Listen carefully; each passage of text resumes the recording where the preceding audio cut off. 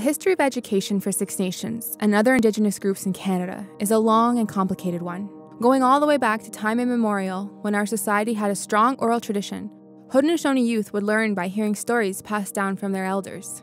However, in 1831, Canada established the residential school system, whose aim was to take away our culture, languages, and traditions through a policy of aggressive assimilation. The Mohawk Institute, located in Brantford, Ontario, only a few kilometers away from the Six Nations territory, was the first of these residential schools to open in Canada. Designed to destroy First Nations languages, cultures, and social structures, the legacy of residential schools has been devastating, and the effects of intergenerational trauma can still be felt today. But Six Nations is resilient.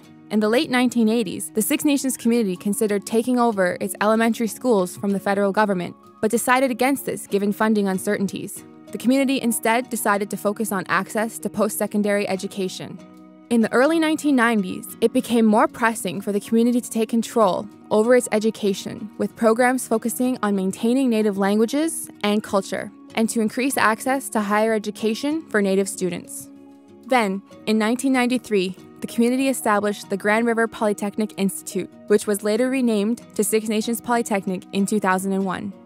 Although our culture and traditions had to go underground to be preserved, there is an exciting regeneration occurring, with Six Nations Polytechnic at the forefront of this resurgence.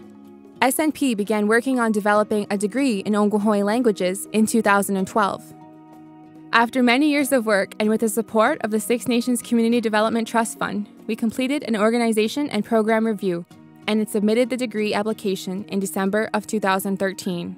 After reviewing our submission, the Ministry of Adult Education and Skills Development gave consent to offer the degree in December of 2015. Classes began the following January.